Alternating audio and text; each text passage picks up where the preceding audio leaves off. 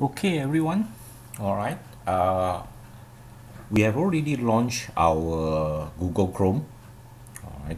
So Google Chrome is already launched, and if you notice at the bottom corner here, which is the bottom right corner here, you will actually see a customized Chrome, which actually means to customize your Google Chrome. And you already have built in when you download the Google Chrome, uh, quite a number of background right, for you to actually choose from. Uh, and since today is actually the World Ocean Day, all right, maybe I will just choose the seascape. And of course, you will see that inside seascape, there is also quite a number of backgrounds.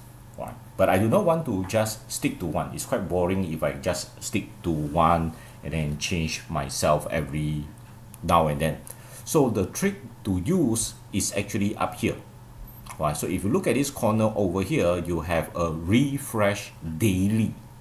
Right. So I'm going to enable this. So when you refresh daily and you click the done, okay,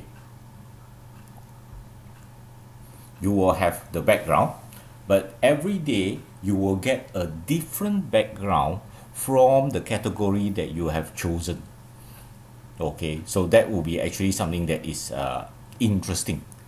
Alright so I don't have to change the background every time that I get bored with it. I let Google Chrome actually handle this for me